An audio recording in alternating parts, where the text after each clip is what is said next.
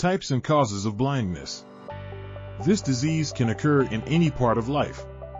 In blindness, one eye creates an image of one side of the brain and the other eye presents a different image from it. It means that two different images are being formed on the brain. The brain does not accept this in any case. Blurred vision is mostly seen in children, but it can affect you at any stage of life.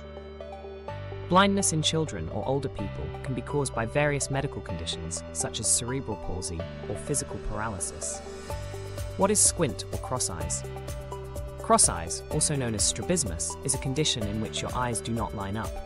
In this, the eyes look in different directions, and each eye will focus on a different object. In strabismus, the eyes may point inward or outward or focus in different directions, and signs of strabismus include blurred vision, double vision, decreased depth perception, pain in the eyes, or headaches. These symptoms can be constant or appear only when you are tired or not feeling well. Causes of blindness. Blindness is caused by nerve damage or when the muscles around your eyes don't work together, because some muscles are weaker than other muscles. When the brain receives a different visual message from each eye, it ignores the signals coming from your weak eye. If the eye condition is not right, it can lead to blindness. Dandruff in children. Strabismus is common in children. The underlying cause is often unknown.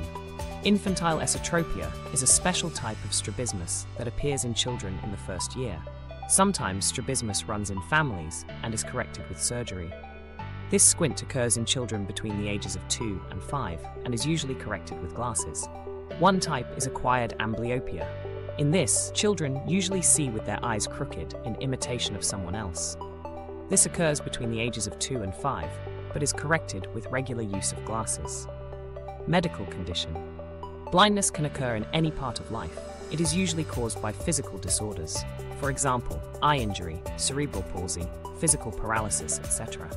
Allah Ta'ala has given us two eyes, when we look at an object, both eyes automatically turn towards that object. If for some reason the coordination of these two eyes is damaged, then the disease of blindness appears. Imbalance can generally be caused by any of three reasons. 1. The mind could not maintain the balance of the movements of the two eyes. 2. The performance of one eye becomes impaired for some reason.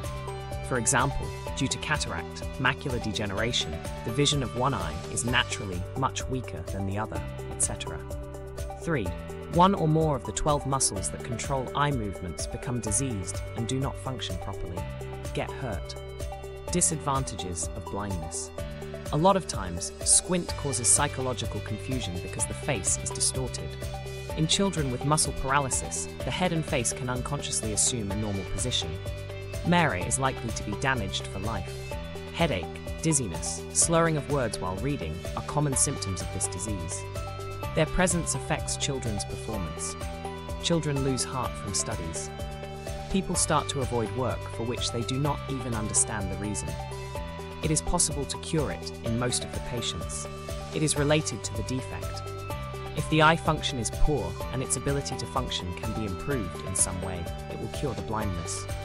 For example, an operation should be done for white cataract.